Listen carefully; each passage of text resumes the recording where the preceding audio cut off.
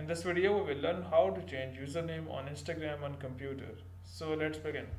So the process is quite easy and simple. First make sure that you are connected with the internet and once connected open up your browser.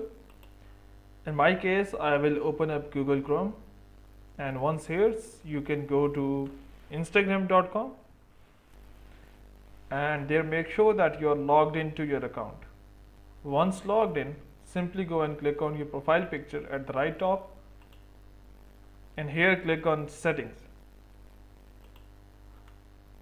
Once you are in settings, you can see username here.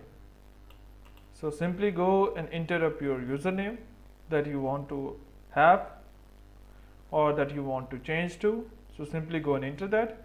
If that username is available, it will allow you to change the username. For example, if I change something like this one and here click on submit, it means this username, if this is successful, it means this username is available.